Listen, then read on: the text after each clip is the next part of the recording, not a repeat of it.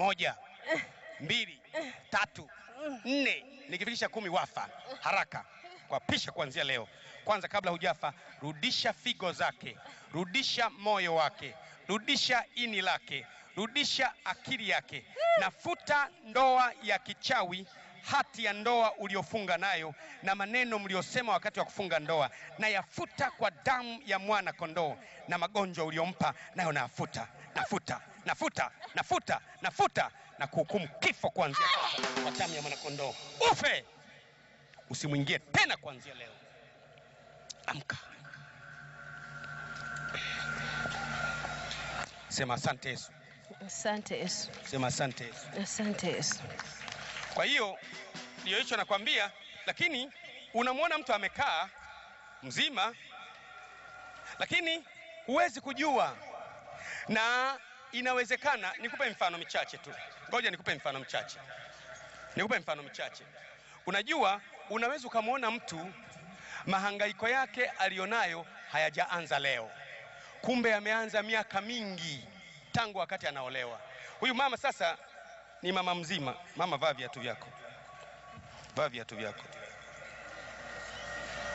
Huyu mama sasa ni mama mzima. Hebu sogea hapa mamangu. Huyu mama sasa ni mama mzima.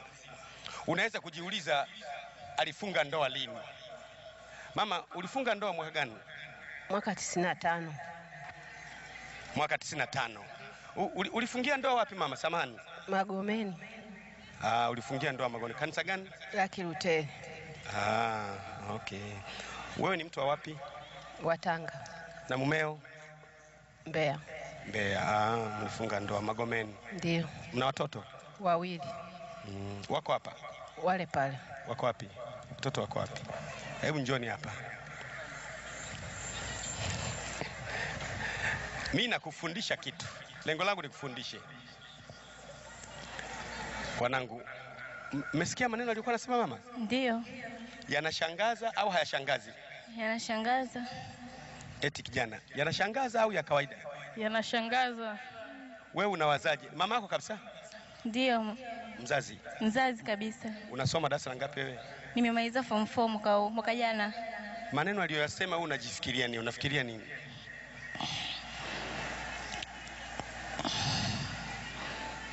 Yaani akili yako inakujia nini? Unawaza nini? Nawaza kwamba babangu sio mtu. Unawaza hivyo kweli? Ndio. Hebu niangalie mimi.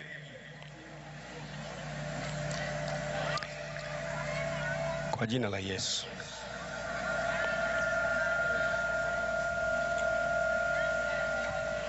Akili yako ikurudie na moyo wako ukurudie kwa jina la Yesu. Kwani umewaza sio mtu? Kwa sababu mara nyingi tunamwona wakati wa usiku akiwa kabisa sio mtu, Mnaonaje? ni mnyama kabisa. Unaonaje? Unaota au unaonaje? Ninaona kabisa, Unaona kwa kuona kabisa. ninaona kabisa, hata kama akiwa wakati akiwa kazini wakati wa usiku tunamwona nyumbani Wewe uliwahi kuona mwenyewe kabisa? kabisa, na tochi hapa Ana tochi wapi? hapa Usoni. Ah, ndio kwenye paji la uso Ukamwona na tochi. Ndio. Ulikuwa unaota au live kabisa? nilikuwa naona kwa macho yangu Mm, Binti. Hebu hebu hebu. Yaani uka, uka, alikuwa ameenda kazini afa akarudi. Hapana kwa sababu yeye ni daktari wa mwimbili huwa wanaendaga naiti wanarudi asubuhi sasa wakati huu akiwa ameenda naiti usiku huwa tunamwona nyumbani Yaani yuko naiti na nyumbani yupo. nyumbani yupo Ulimwona kabisa wewe? kabisa kwa macho yangu Labda alirudi bila wewe kujua. hapana hapana Kweli? hapana Uliwahi kumwambia? hapana Hujamwambia? Ndio. Ni mkali au ni mpole? Ni mkali Vibaya sana. sana Sasa hapa imetokea hivi itakuwaje?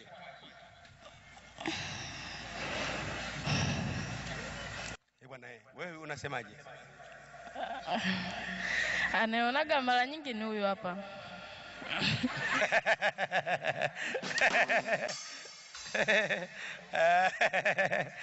anaonaga mara nyingi. unaamini anayoyaona? Eh, ndio.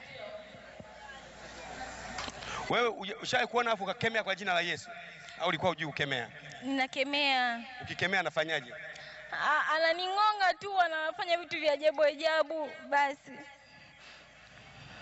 Na anakupenda kwenye maisha ya kawaida, anakupenda ananipenda kuliko mdogo wangu wewe, ndiye anakupenda sana. sana. Sasa itakuwaje leo? Tumpige? Ndiyo, Hebu nendeni mkakae kwanza, mkakae, afu baada ya ibada mje wote, sawa?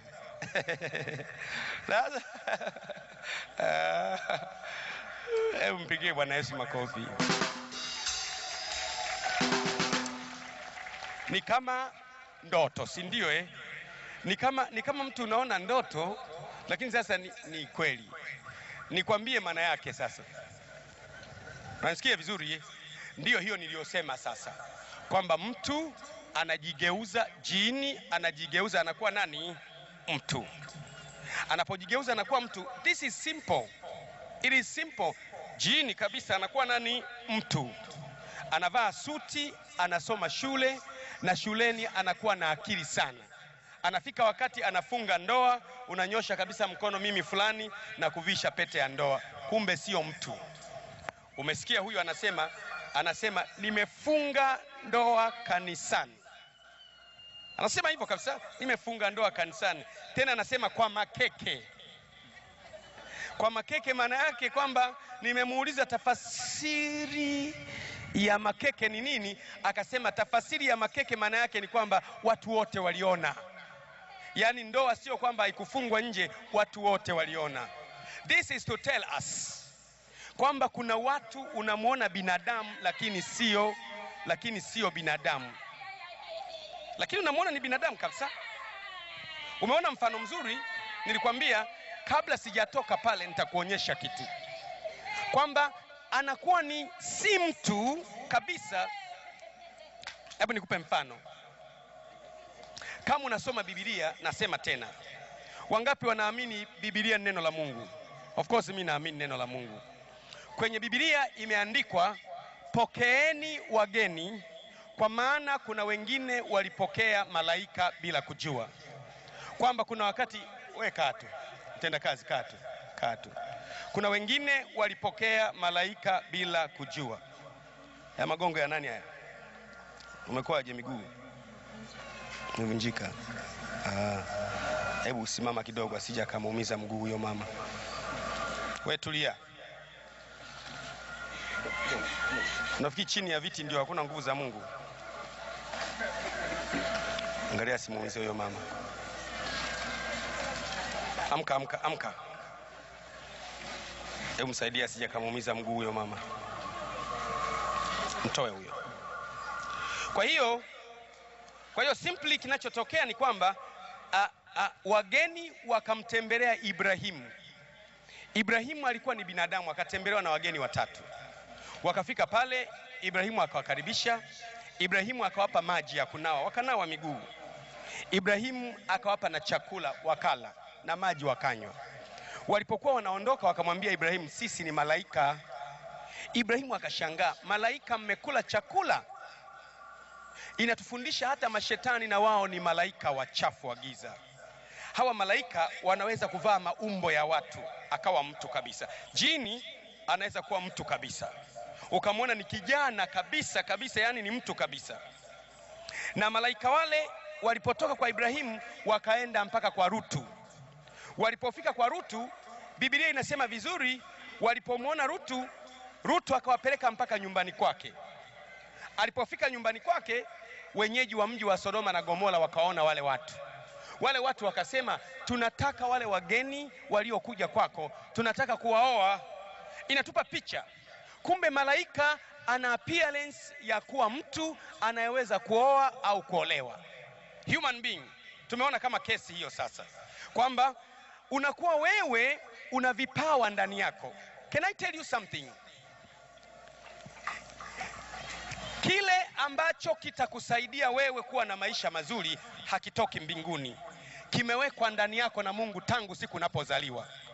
Narudia tena, kile kinachokusaidia wewe uwe na maendeleo kibiashara, uwe na maendeleo kindoa, uwe na maendeleo kimaisha, sio kwamba kinatoka mbinguni, kishawekwa ndani yako na Mungu tangu siku unapozaliwa. Sasa wachawi na waganga wa kienyeji wanaangalia, wanakuja, wanataka wakichukue kile ulichopewa na Mungu. Ni kama hilo joka sasa limemfata yule mama, liliona yule mama na kitu ndani yake. Huyu mama na kitu, labda angekuwa angekuwa kiongozi kwenye serikali, labda angekuwa waziri, labda yule mama angekuwa nabii, labda yule mama angekuwa mtumishi wa Mungu, labda mama angekuwa mwinjilisti. Likaona likaenda kuingia kwake moja kwa moja, likamvisha na pete ya ndoa kanisani. Watu wengine wanasema amefunga ndoa, lakini kumbe ameingiliwa na joka la kumcontrol ili asije akafika kwenye hatima ambayo Mungu anataka afike. Unaona sasa? Kwa hiyo sasa anatakiwa aende apenye mpaka awe mtu fulani baadaye, lakini ile joka linasema nimekuoa bwana. Akitaka kwenda kanisani, bwana, sitaki uende kanisani.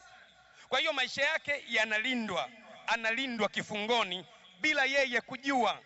Kwa hiyo shetani au majini au majoka wakiona una kitu cha tofauti ndani yako, wanatengeneza mikataba na wewe mapema ili uwe mali yao, wakuzuie kupata unachotakiwa kupata. Na ndiyo maana kama unataka kufanikiwa, unajitoa kwa Bwana. Ukijitoa kwa Bwana asilimia tano, unapata matokeo asilimia tano. Ukijitoa kwa Bwana asilimia thelathini, unapata asilimia thelathini. Ukijitoa kwa Bwana asilimia mia moja, unapata matokeo asilimia mia moja. Ndiyo maana give your life to Jesus, decide to save Jesus, amua kumfata Yesu, toa maisha yako kwa Yesu. Utaona Bwana Yesu ni mwingi wa huruma na neema. Hebu sema kwa damu ya Yesu, sema kwa sauti, kwa damu ya Yesu, sema kwa damu ya Yesu. Ninakataa kabisa mwanaume yeyote wa kichawi niliye saini mkataba wa ndoa na yeye kwa damu ya mwana kondoo. Ninakataa, ninakataa, ninakataa kwa damu ya Yesu, ninakataa kwa damu ya Yesu. Ndiyo maana kuna wengine tangu ulipoolewa ndiyo maisha yako yakaanza kuporomoka. Kabla hujaolewa angalau ulikuwa afadhali. Kuna wengine ulipooa ndiyo maisha yakaanza kuporomoka chini. Kabla hujaoa ulikuwa angalau na afadhali. Kuna wengine ulipompata huyo boyfriend ndiyo maisha yakaanza kuporomoka chini. Ulipokuwa kabla ya hapo ilikuwa angalau afadhali. Maana yake ni joka, ni shetani, ni jini ameamua kuwa mtu. Huyo amesema wametoka kule chini, anavaa mwili wa mtu ili awe mtu, anaishi, anafanya kazi, anatembea. Unajua, kuna watu wengine wanasema hivi, mchungaji, unapotufundisha kwa mashetani sana unatuogopesha, angalau tuambie mambo ya mbinguni, ukuu wa Mungu. Sikiliza nikwambie, hiyo ni ujinga wa kiroho. Ulisema hivi, mchungaji, ungetuambia ukuu wa Mungu, nguvu za Mungu, mamlaka za nguvu. Ukiongea shetani shetani sana unatuogopesha. Sikiliza nikwambie, Sikiliza nikwambie,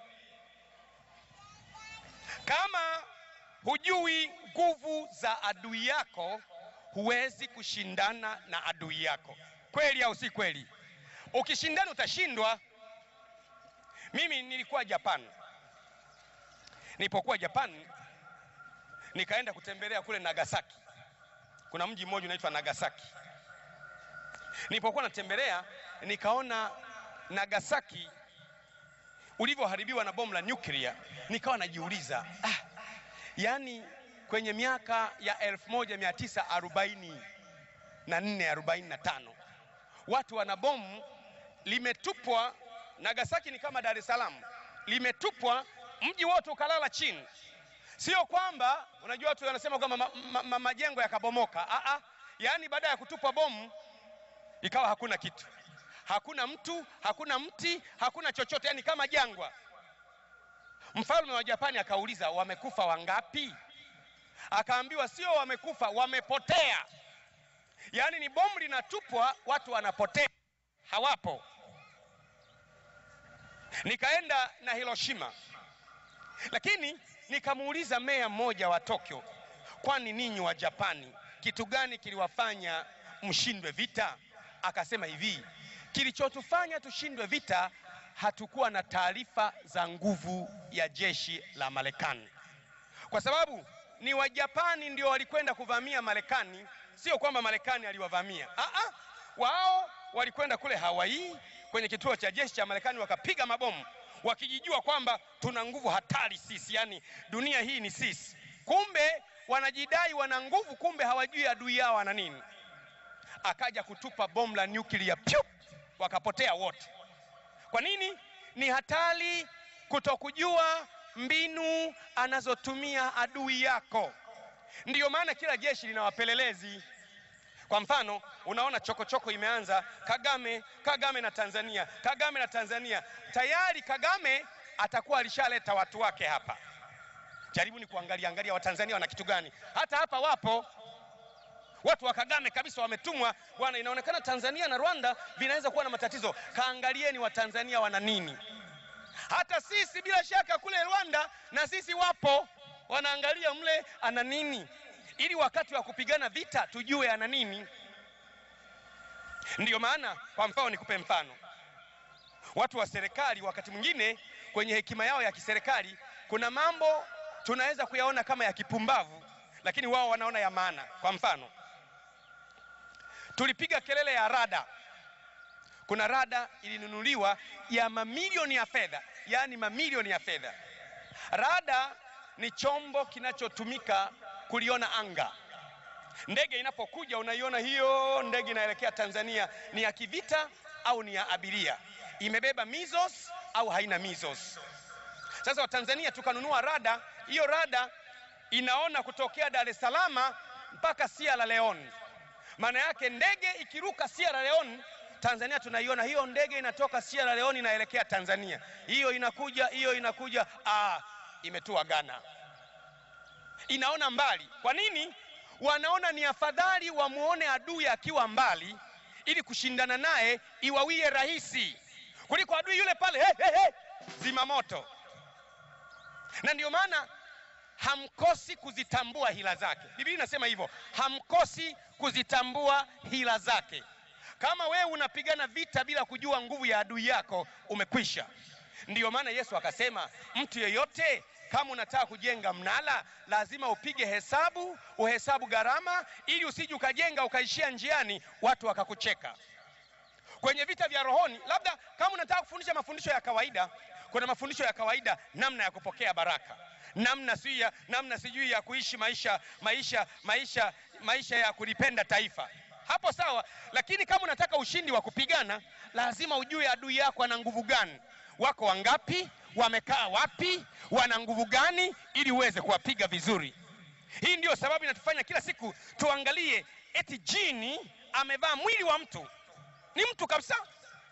Unaona, huyo mama amesema anaolewa, anaolewa, anafunga ndoa, anajua anafunga ndoa na mtu.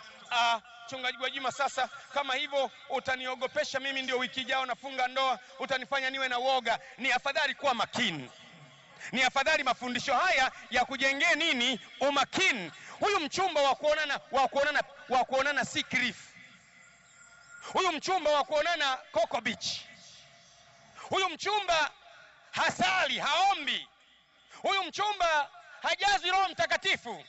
Huyu mchumba yuko kanisani miaka na miaka, ni kibwengo wa kukaa kwenye kiti tu. Eti wewe unaolewa na yeye, unauliza huyu mchumba akasoma masomo ya awali? Aa, anampenda Bwana. Huyu mchumba amejazwa Roho? Aa, ni mluteni aliyeokoka. E, huyu mchumba aa, anasoma bibilia ni kathmatic aliyeokoka. Hakuna cha kathmatic aliyeokoka. Mtu aliyeokoka ameokoka, mtu aliyeokoka ameokoka. Uwe Lutheran, uwe Anglican, uwe Katoliki, uwe Assemblies, kama umeokoka maana yake umeokoka. Utuambie ameokoka.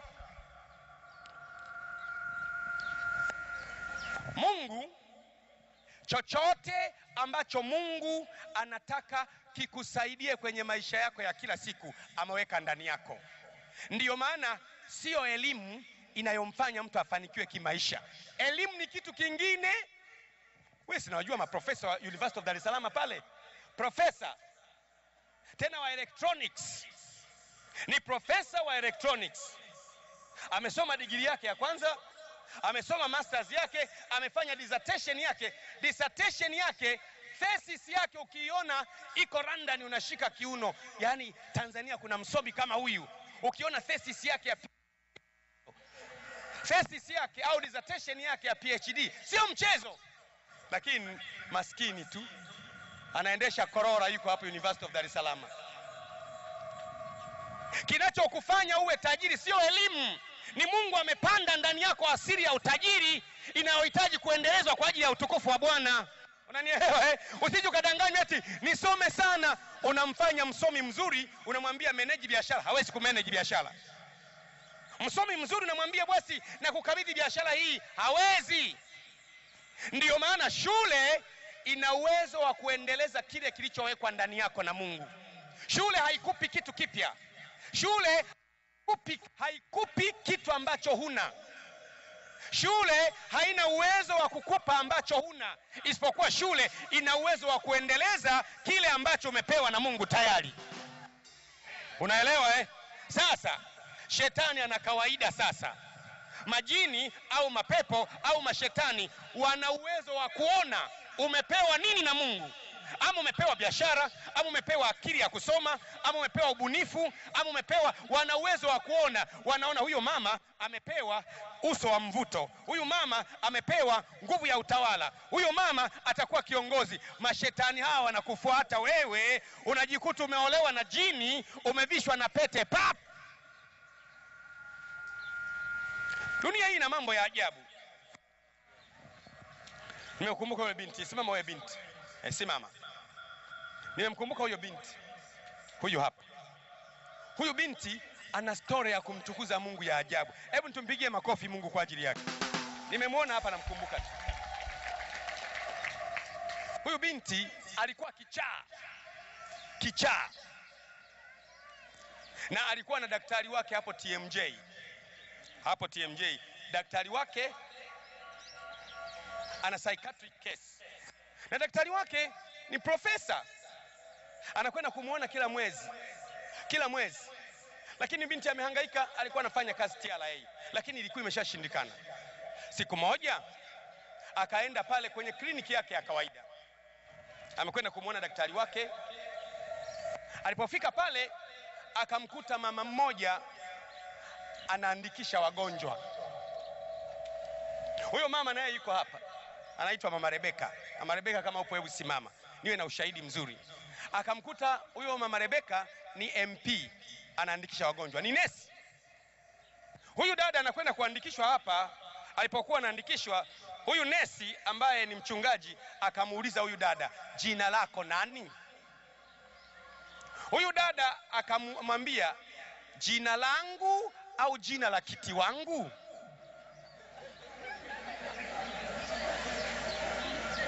Huyo mama kwa kuwa ameokoka akamwambia aha, okay.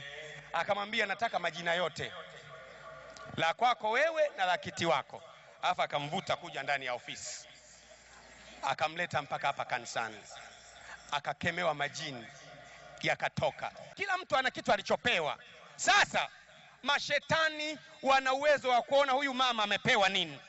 Wanapoona amepewa kuwa kiongozi, amepewa roho ya utawala, huyu mama pengine ni waziri wa afya ajaye baada ya miaka kumi. Wanapoona hivyo, mashetani wanakuja kuingia ndani yake, wanamuoa huyu mama, alafu kile cheo chake alichowekewa na Mungu wanaanza kutumia wengine kwa ajili ya shughuli zao. Amini usiamini, kuna watu ambao kipawa chako yule mume wa kiroho, yule mume wa kichawi au mke wa kichawi ametumwa achukue kile ulichopewa na Mungu wewe mwenyewe. Hebu sema kwa jina la Yesu. E, kuanzia leo ninakataa mtu yeyote kutumia ambacho mimi nimepewa na Bwana. Ninakataa, ninakataa, ninakataa, ninakataa kwa damu ya Yesu.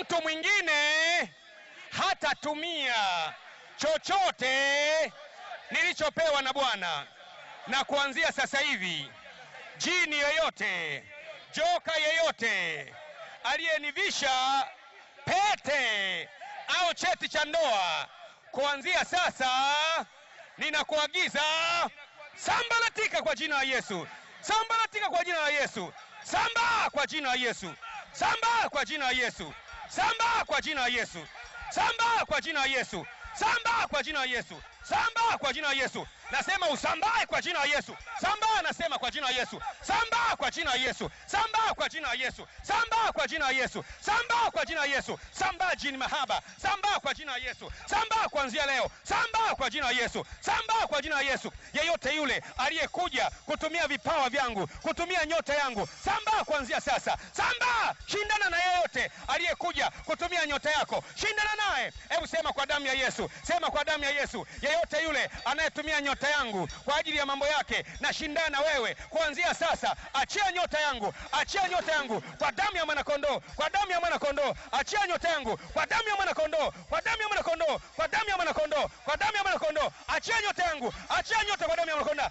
achia kwa damu ya mwanakondoo, achia kwa damu ya mwanakondoo. Baba mdogo, baba mkubwa, shangazi, mjomba, jirani, yeyote uliyenioa kiroho ili utumie nyota zangu, achia kwa damu ya Yesu, achia kwa damu ya Yesu. Sambaa, sambaa kwa damu ya mwanakondoo, kwa damu ya mwanakondoo. Apigwe, apigwe, apigwe kwa damu ya mwanakondoo, apigwe.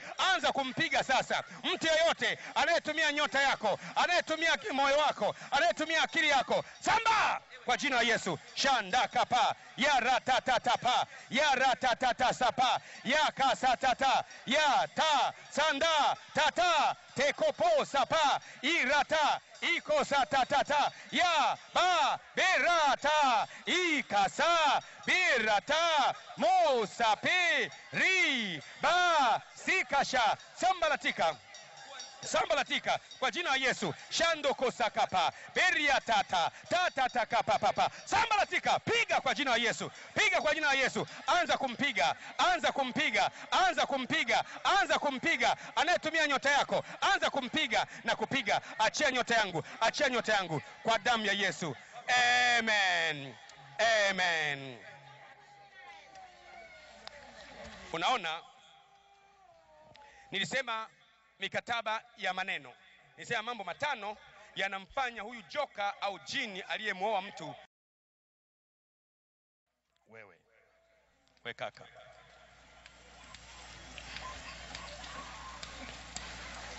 wewe. Kuna naye kumiliki, lakini wewe hu, unajua. Wewe baba, wewe. Ebe, wewe. Ongea na wewe Ukikataa atakuacha kabisa, ukikataa atakuacha kabisa. Hebu sema na kukataa kuanzia leo kwa damu ya Yesu, ninakukataa, sikutaki tena, sikutaki tena. Sema mara ya kwanza, sikutaki tena, sikutaki tena, sikutaki tena, sikutaki tena, kwa damu ya Yesu, kwa damu ya Yesu. Fumba macho yako.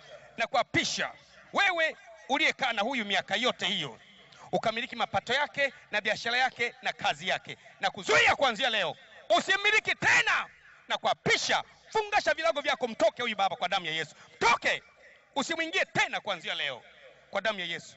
Mwachie afanye biashara, mwachie asafiri, mwachie ashike fedha, mwachie amiliki fedha kwa jina la Yesu. Hebu sema asante Yesu. Kwa hiyo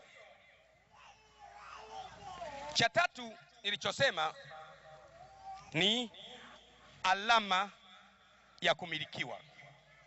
Hapo nisikie kwa makini sana. Msingi wa ndoa, ndoa ya kwanza ilianza na Adamu na Eva. Adamu alikuwa ni mmoja peke yake, halafu Mungu akamlaza Adamu usingizi mzito, halafu Biblia inasema Mungu akampasua Adamu katikati. Adamu alipokuja kuamka akaona zile nyama zilizokuwa kwa Adamu ziko kwa mwanamke yule, na ile mifupa iliyokuwa kwa Adamu iko kwa mwanamke huyo. Akamwambia, he, wewe ni nyama katika nyama yangu na mifupa katika mifupa yangu. Maana yake kwamba mm, zile nyama zilizokuwa kwenye mwili wangu zimehamia kwa mwanamke yule na zile mifupa iliyokuwa kwangu imehamia kwa mwanamke huyo. Maana yake kuna alama zilizokuwa kwangu zimehamia kwa yule, na ndivyo ilivyo kwenye Biblia kwamba shetani au majini wanapomuoa mtu wanamwekea alama ya kumilikiwa. wanakuwekea alama fulani kwamba wewe ni mali ya kwao. Roho ya kifo na kuapisha kuanzia sasa, una nafasi ya kumchukua huyu, mwache kwa jina la Yesu, umtoke kwa jina la Yesu. Kwa hiyo kuna alama za kumilikiwa unawekewa alama ya miliki. Ndiyo maana nikalisoma lile andiko. Lile andiko linasema hivi kwamba mwanamke anapokuwa yuko nyumbani, anapoonekana amefungwa kitambaa kwenye Agano la Kale, ni dalili kwamba jamani, kitambaa hiki, uzuri wa kichwa changu hiki nimekificha ili wengine wasikione, kwa sababu uzuri huu ni kwa ajili ya mume wangu. Unaona eh? Ndiyo maana ya mwanamke afunge kitambaa kama alama ya kumilikiwa kwa ajili ya malaika. Neno hili malaika limeandikwa evil spirits, kwamba huyu mwanamke avae kitambaa kama dalili kwamba e, mimi jamani ninamilikiwa, mimi jamani nina mume. Maana yake mapepo wachafu wanapomwangalia huyu mwanamke wanaona he, ana mume wake. Ndiyo maana nikakwambia wale watu ambao wana majini mahaba, kabla hajalala usiku, utamwona amejipamba kwanza, ndio kaenda kulala. Maana yake anajipamba kwa ajili ya mume wake atakayekuja usiku. Na ukimwona mtu ambaye una majini mahaba unasumbuliwa, we jaribu kuanzia leo. Kama jini mahaba anakuja kila siku, wewe omba kwa jina la Yesu, alafu unapotaka kulala unamwambia kuanzia leo, jini mahaba, na kutangazia mimi sio wa kwako, mimi ni wa Bwana Yesu. Alafu chukua kitambaa, jifunge kwa imani, useme mimi ninamilikiwa na Bwana Yesu, ndiyo mume wangu. Haji kwa ajili ya malaika. Kwa hiyo kuna alama ya kumilikiwa. Kwa hiyo jini mahaba au joka ana